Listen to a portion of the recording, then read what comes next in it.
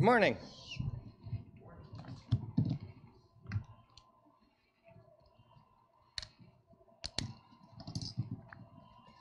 I had um left home today for coming to fellowship, and I uh, forgot my my message. Well, I, I guess my, my notes, but I forgot my I forgot my message. I went, oh no, I forgot my message. And I thought, well, maybe it's actually not such a bad thing because uh, I do want to forget everything I want to say and everything about myself and just leave what the, the Lord would have be said. And so I hope today it is just uh, the Lord speaking and it be about Him and about His Son, the Lord Jesus. And I'd also like to start today's uh, message with a, a proverb, a proverb I've been kind of thinking on and, and considering. The proverb says, uh, Hope deferred makes the heart sick, but desire fulfilled is a tree of life. Proverbs 13 12. You see, I have this strong desire, and it is a desire that's been postponed and postponed again. And the postponing of this desire, as it gets postponed more and more, creates this buildup of, of longing and even a, a bit of sorrow in me. This is certainly something that I can, can manage, and it's even something I can do without. But if given the opportunity, I'd really like to have this, uh, this desire fulfilled. And the desire I have is, uh, well, it's to go to Israel once again. You see, I went to Israel in late 2022, and I was supposed to travel to Israel again the next summer to be part of an archaeological excavation.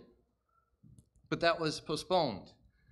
That 2023 trip was replanned for the summer of 2024, this most recent summer, and for probably obvious reasons, that trip was also postponed. And so when uh, Brother Larry asked me to bring a word, today's message is really just what's been on my heart, and it's is coming out in, a, in an outpouring of um, the message today. So I'd like to bring some of that uh, Israel experience back to you from that trip in November of 2022. And not only would I like to bring some of that Israel experience to you, but I'd like to draw out some of the, the truths of this passage in Scripture found in the Gospel according to John, chapter 20, in verses 30 and 31. It says, Therefore, many other signs Jesus also performed in the presence of the disciples, which are not written in this book. But these have been written, so that you, that is, you and I today, may believe that Jesus is the Christ, the Son of God, and that believing you, again, that's you and I today, may have life in his name. That verse states that these have been written. And I am so thankful that the Bible, God's Word, was written down for us. We have the same words, the same Word of God that they had at the time of the Lord Jesus Christ. Until this very day, the same words unchanged.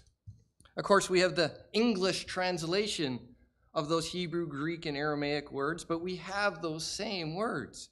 The Word of God does not change. We have the same Word of God unchanged for thousands of years, giving life and stability and comfort to all who read and hear the Word of God. Psalm 119, verse 89 says, Forever, O Lord, your word is settled in heaven. In the Gospel according to John, many people see seven main signs that Jesus performed that John wrote about. And the purpose of those seven signs, John tells us himself.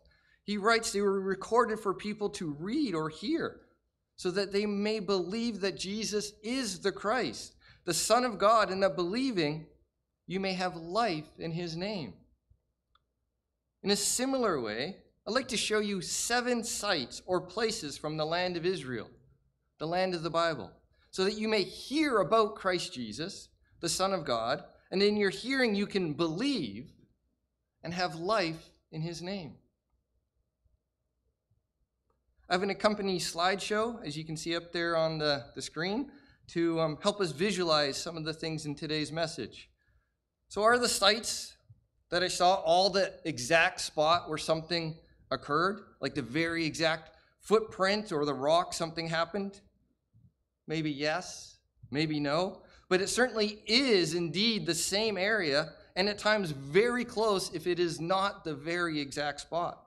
The location of many things and areas are unchanged from the time of the Lord Jesus until now, such as the Temple Mount hasn't moved. It's been there since Jesus' day and even before. Same place, same foundation stones. The Mount of Olives, where Jesus ascended into heaven and prayed in the Garden of Gethsemane, the mountain is still there. Hasn't moved. Same place, same mountain. The Sea of Galilee, the Dead Sea, the Mediterranean Sea, the Jordan River, Mount Carmel, Caesarea Philippi are all still there. Same places, same seas, same rivers, and same mountains. All still there. The city of Jerusalem is still there, the same city in the same location by the same name. Capernaum, Tiberias, and Nazareth likewise. All those locations mentioned in the Bible are there, and you can go visit them today. You can read about a location in the Bible, both the Old Testament and the New Testament, and then go to those locations. Next slide, please. All the photos in these slides are my own, except for some of the map slides, which I just use Google Maps for, and one other photo I'll note as we go through. And the first map slide I have is an outline of the nation of Israel today and the nations that border it. I just use Google Maps and then I used a thick blue outline so you could better see the nation of Israel.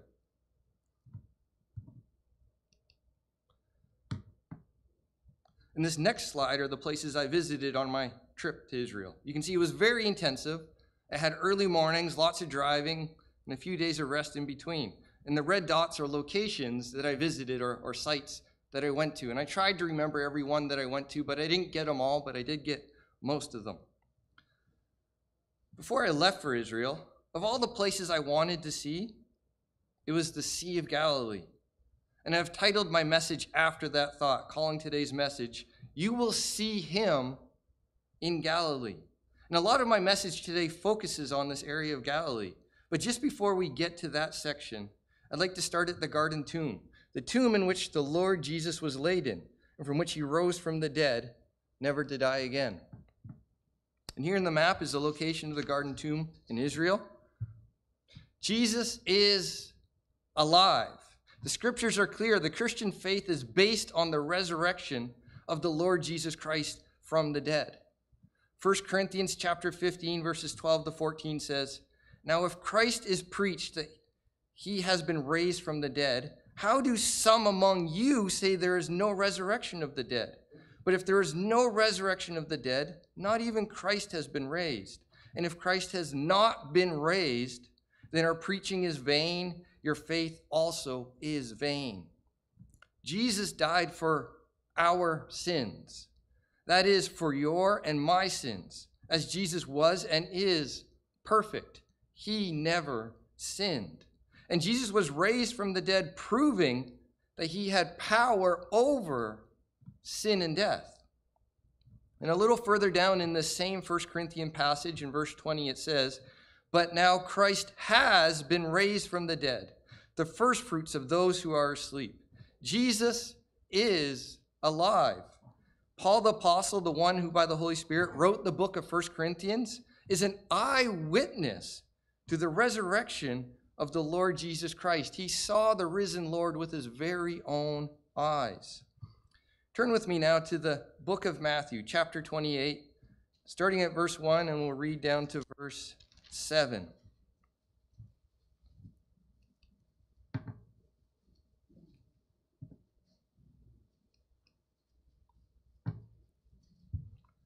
And next slide, please.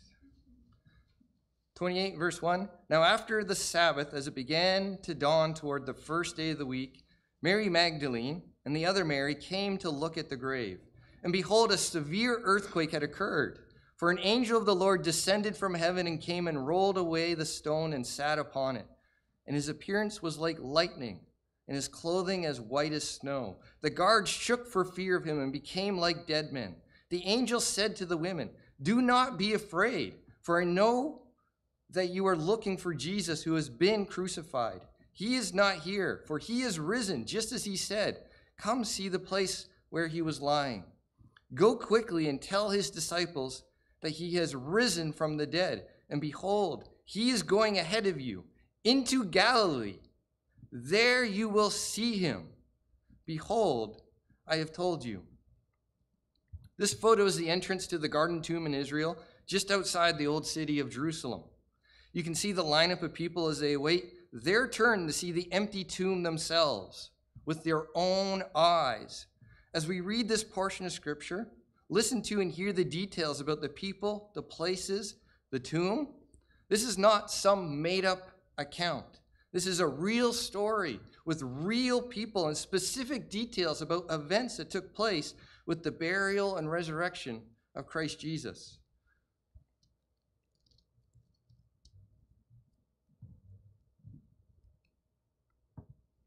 In verse 6, it said, He is not here, for he is risen, just as he said. Come see the place where he was lying.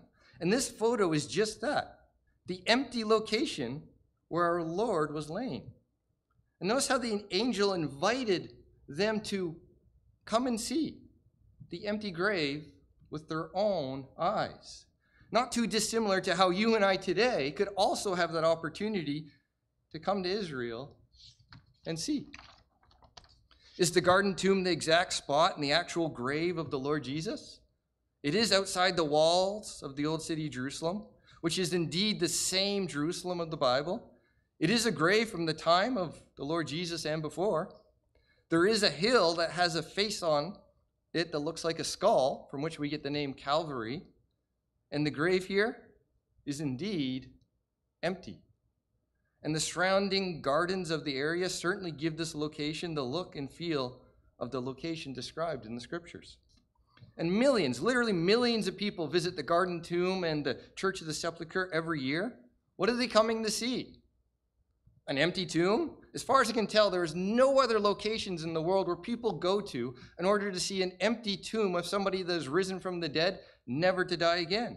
People usually visit a grave with a person that's in it. And as I mentioned, of all the places I wanted to see in Israel, it was the Sea of Galilee.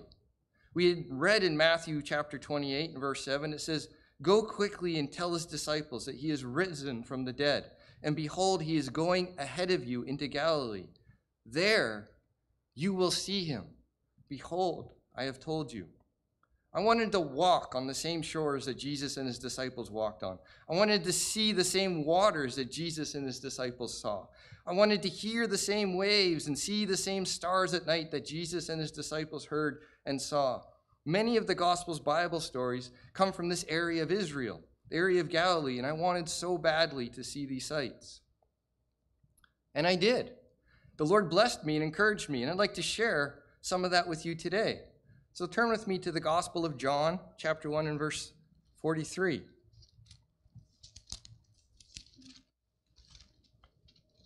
In the Gospel of John, chapter 1, verse 43, it says, The next day, he, that is Jesus, purposed to go into Galilee, and he found Philip. And Jesus said to him, Follow me. And like the angel invited those at the tomb to come and see, let us now ourselves, in a similar way, Come and see and follow Jesus and the scriptures into Galilee and read a little bit about the sites that are there. It's just a map indicating the location of the Sea of Galilee in the northern part of Israel. And again, as we hear about the Galilee region and consider the gospel stories about the Lord Jesus Christ in this area written down in the Bible, you can be sure assured that these Bible stories, these historical accounts are about real people, about real places, and about real events that took place. You can be assured of the historical accuracy of the Word of God. And the first place I'd like to take us to is the town of Nazareth. This is the town, the location that Jesus grew up in. You might be surprised looking at this photo thinking that Nazareth has stayed fairly small and original over these hundreds and maybe thousands of years. Well, this photo is taken from the location named Nazareth Village. A short summary about the Nazareth Village that they have written on their website is Set on the outskirts of Old Nazareth, the Nazareth village is built on ancient agricultural land that boasts the area's last remaining first century wine press. The original farm has been restored with its ancient wine press, terraces, irrigation system, and stone quarry, an exact replica of first century houses, a synagogue, a watchtower, mikveh, and olive presses have been carefully constructed using the original building methods and materials. Together, these elements form the Nazareth village, an authentic first century farm and archaeologically accurate recreation of the hometown of Jesus with real ties to the life and time of his friends, family, and fellow Nazarenes. Here's a photo of modern Nazareth, the largest city in the northern district of Israel. Well, uh, guess just part of it. And now back to Nazareth Village. At Nazareth Village, everything is done, worn, and arranged like it was in a first century Jewish village. Turn with me in your Bibles to the book of Matthew, chapter 2, reading verses 19 to 23.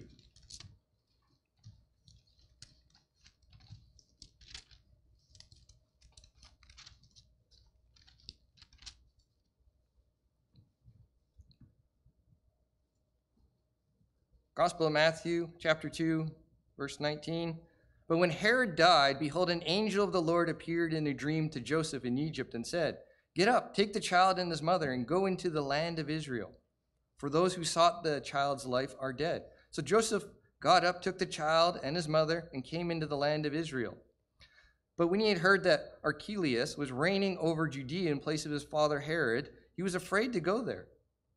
And after being warned by God in a dream, he left for the regions of Galilee, and came and lived in a city called Nazareth. This was to fulfill what was spoken through the prophets. He shall be called a Nazarene. This city, Nazareth, is where the Lord Jesus was raised and lived his childhood and adolescent years. And this Nazareth village site gives you the opportunity to see Nazareth in a very similar way, in a way that the Lord Jesus grew up in. Turn with me now to the book of Luke, chapter 4.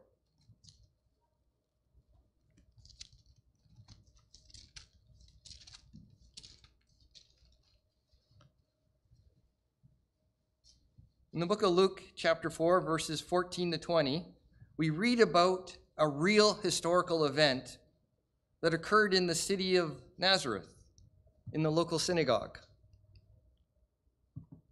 Here's a photo of the synagogue in Nazareth, and this photo is off the Nazareth Village website. Here in the Nazareth Village is a replica of that first century synagogue, and it is said that this is the only location where one can see a first century synagogue still in use. Other first century synagogues are the ruins or remains of them. Reading from the Gospel of Luke, chapter 4, verses 14 to 20, it says, And Jesus returned to Galilee in the power of the Spirit, and news about him spread through all the surrounding district. And he began teaching in their synagogues and was praised by all. And he came to Nazareth, where he had been brought up. And as was his custom, he entered the synagogue on the Sabbath and stood up to read. And the book of the prophet Isaiah was handed to him. And he opened the book and found the place where it was written The Spirit of the Lord is upon me, because he anointed me to preach the gospel to the poor. He has sent me to proclaim release to the captives and recovery of sight to the blind, to set free those who are oppressed, to proclaim the favorable year of the Lord. And he closed the book gave it back to the attendant, and sat down. And the eyes of all in the synagogue were fixed on him. And in this synagogue in the Nazareth village, I heard those same words that the Lord Jesus had said when Jesus read from the scroll or book of Isaiah, well, the English translation of them. And after the Lord Jesus read from the book of Isaiah, and interpreted its meaning, the townsfolk of Nazareth took offense at him. Let us keep reading in the Gospel of Luke, chapter 4, picking up at verse 21 and reading down to 29. Verse 21, it says, And he began to say to them, Today this scripture has been fulfilled in your hearing. And all were speaking well of him and wondering at the gracious words which were falling from his lips. And they were saying, Is this not Joseph's son? And he said to them, No doubt you will quote this proverb to me Physician, heal yourself. Whatever we heard was done at Capernaum, do here in your hometown as well. And he said, Truly I say to you, no prophet is welcome in his hometown. But I say to you in truth, there were many widows in Israel in the days of Elijah when the sky was shut up for three years and six months, when a great famine came over all the land. Yet Elijah was sent to none of them, but only to Zarephath in the land of Sidon, to a woman who was a widow.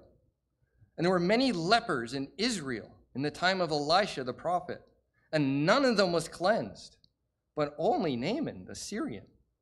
And all the people in the synagogue were filled with rage when they heard these things. And they got up and drove him out of the city and led him to the brow of the hill in which the city had been built in order to throw him down the cliff. The people of Nazareth were so upset at Jesus' teaching that God would care about Jews and non Jews alike and even at times show favor and kindness to believing non Jews, also known as the Gentiles. They took Jesus, I guess, maybe from the synagogue and then out of that city that we saw by pulling, pushing, shoving him all the way to the top of the hill in Nazareth, known as Mount Precipice today, in order to cast Jesus down from that hill. And I can assure you, it's a very high hill with a very steep drop. Sometimes we too can get mad at the Word of God when it brings up things that we struggle with or that we don't want to give up. This anger is usually about our sin. And sin is something that we do that is against God's desire or against his design for us.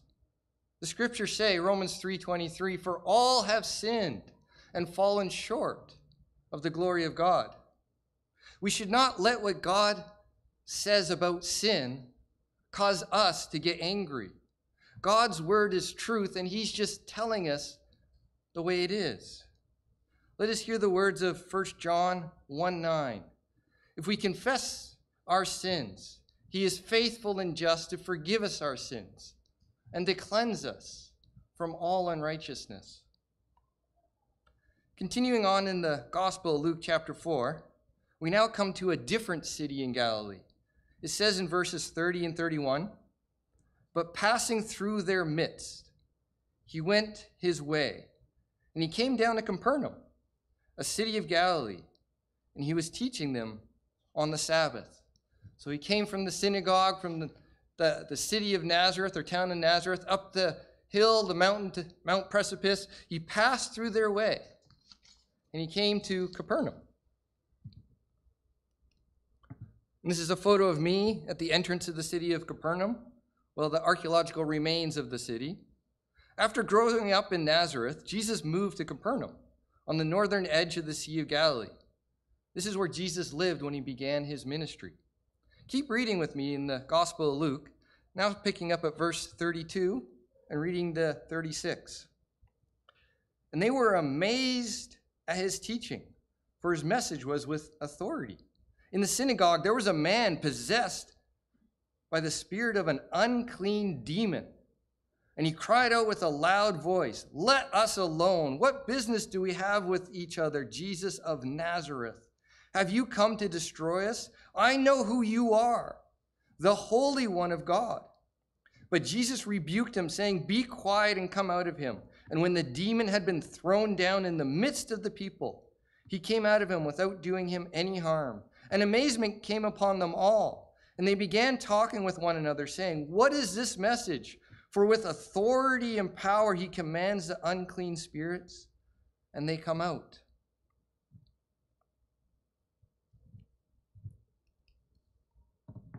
And here's a photo of that synagogue. It is located in the center of the ruins of the city of Capernaum, and it is built of white limestone, which makes it also known as the White Synagogue. This White Synagogue is actually a later build or built in the late fourth century.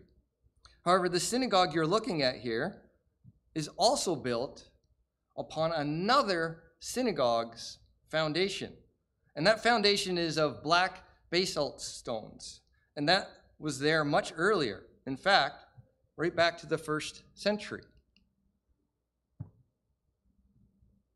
This synagogue, this area, is indeed the area where that synagogue in Capernaum was and still is, that we just read about in Luke chapter 4.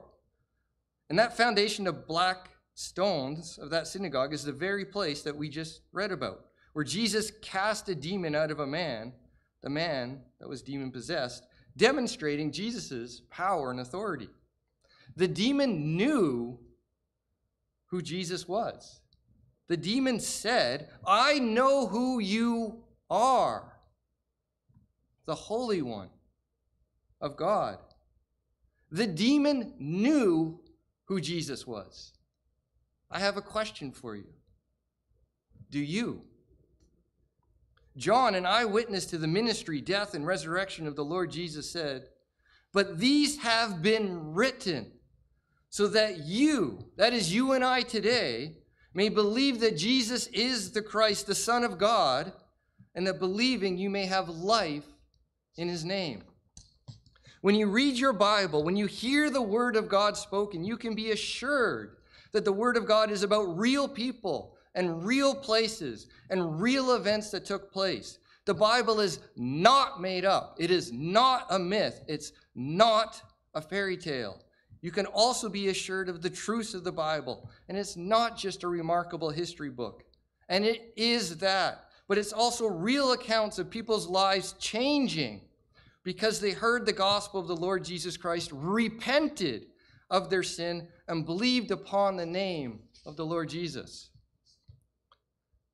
Let us now continue on to the traditional location for the Sermon on the Mount, to what is called today the Mount of Beatitudes.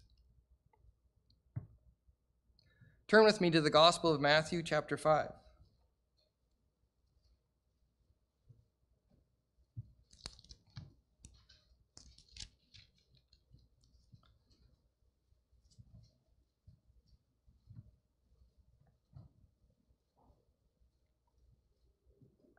Reading the just the first five verses of Matthew 5 it says when Jesus saw the crowds he went up on the mountain and after he sat down his disciples came to him.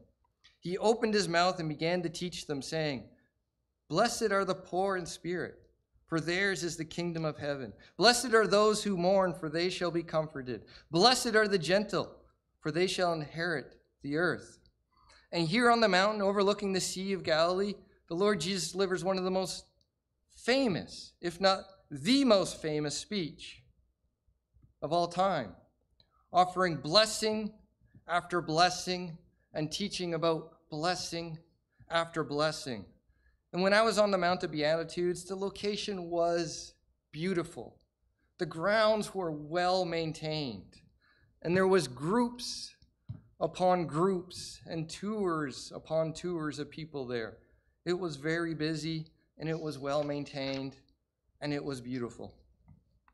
And I'd like to contrast that to another location also found in the nation of Israel. Turn with me to the book of Matthew, chapter 11.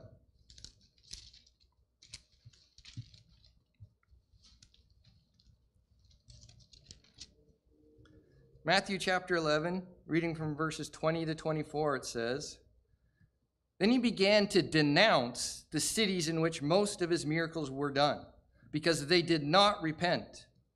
Woe to you, Chorazin! Woe to you, Bethsaida! For if the miracles had occurred in Tyre and Sidon, which occurred in you, they would have repented long ago in sackcloth and ashes. Nevertheless, I say to you, it will be more tolerable for Tyre and Sidon in the day of judgment than for you. And you, Capernaum, will not be exalted to heaven, will you?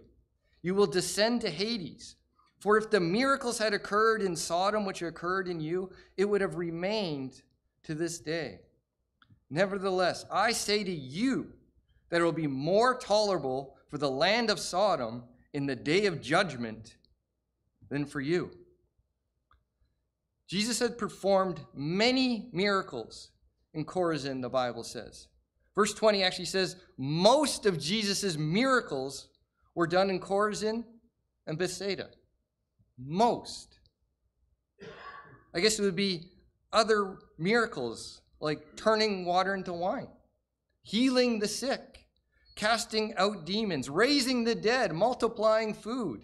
Can you imagine the miracles, these most of miracles, being done right in front of people, to people? And yet, they still did not repent. And Jesus tells them that they're going to pay a cost, a very high cost for the rejection of Jesus because they had seen and heard so much about God and they rejected him. So let's try and make this clear. Seeing is not believing, believing is seeing. You have to believe that you are a sinner. You have to believe that you need a Savior. You have to believe that Jesus can save you. You have to believe that Jesus is the Christ, the Son of the living God. You have to believe. John 3:16 says for God so loved the world that he gave his only begotten son that whoever believes in him shall not perish but have eternal life. This is Chorazin today. It's also known as the cursed city, as it is seen that Jesus cursed it in that passage we just read. When I was there, there was no other tours, no other buses. There was only a couple of locals that I'd run into. I was told that Chorazin is not as a popular place as a Mount of Beatitudes. I asked why fewer people go to Chorazin than the Mount of Beatitudes, especially since there was so many archaeological ruins available to see at Chorazin. And yet the Mount of Beatitudes is just a location, an open area with a view, with later built churches at its place. I was told it's because everyone wants the blessings, and no one wants to be reminded of the judgment to come because of our sin. I really liked Chorazin, though. It really did indeed remind me that there is a blessing to be had and a coming judgment to be feared. If I think about Mount, the Mount of Beatitudes versus Chorazin, it appears that people love the blessings of God, but don't want to think about the judgment of God. People don't want to change, they don't want to repent. There are, according to the scriptures, different levels of divine punishment. That is what we just read in verses 22 and 24. Those that have heard the truth and have heard it clearly and yet reject it, the punishment of God's judgment will be severe, more severe than for others who didn't get to see it or hear it in that way. This is a real warning to those of us who have had the privilege to hear God's truth and yet not accept it or to reject it. It's not seeing the miracles themselves that matter. Jesus did many of these miracles in the cities and they still didn't believe. It's believing in the one who did the miracles. I would like to read from Vernon McGee's commentary on this section of Scripture. Vernon McGee is a Bible teacher I really appreciate, and he says, Without going into detail, let me say this I do not know I do not know what God will do with that person on a little island in the South Pacific who has never heard the gospel and bows down and worships an image. I do know. I do know what God is going to do with that person who comes and sits in church Sunday after Sunday and hears the gospel and does nothing about it.